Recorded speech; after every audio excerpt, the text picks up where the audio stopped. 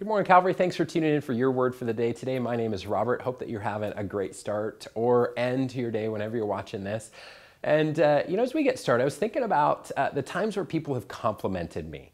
Uh, and we all love getting complimented, and, and it's that nice little, ooh, cool moment. But more than that, when, when someone intentionally focuses in on a specific area of my life and compliments it, I feel this, this strange internal desire to lean in more to that activity. Maybe you're the same way. Maybe someone's complimented you on a diet or fitness plan that you were doing. Hey, you're looking great. I see you're losing weight. It's just that, that motivation. Okay, I got to do it. I, I got to keep doing that. I got to lean in a little bit more.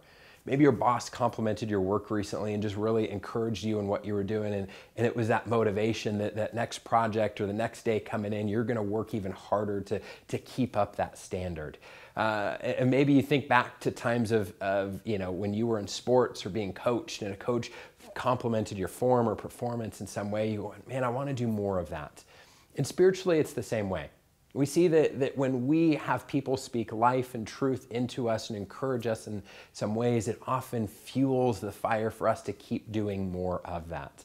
And in Hebrews chapter 10, verse 24, we see that uh, actually encouraged uh, in us. So Hebrews 10 24 says, And let us consider how to stir one another up to love and good works. Now, there's a lot of ways that we can do that, and I'm not saying that what I'll say today is the only way to do that, but I think that one way we can consider how to stir one another, the people around us, up to, to loving and honoring God with those love and good works, as it says, is by intentionally speaking truth and encouragement into their life.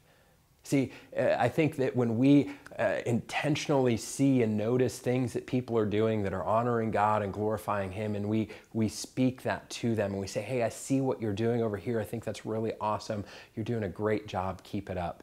It's like that coach saying, Hey, that was a great form on that last run, or your boss saying, Hey, that, that, that job uh, was great, or that report looked awesome. It's that motivation to keep going. Because guess what? We get weary we get weary of doing the things that we know we're supposed to do. It's why scripture says, Do not grow weary in doing good, for at the due time you will reap a harvest if you do not give up. So when we speak that, those words of truth and encouragement into people's life, it helps them to fight against growing weary. It also helps them to see, hey, I'm being noticed. There's, there's an impact to what I'm doing. And our, our, Heavenly Father sees even more than what we're able to see. And it's that reminder that, that we need to keep going in that. So today, here's my challenge to you, my encouragement to you is to go encourage someone else.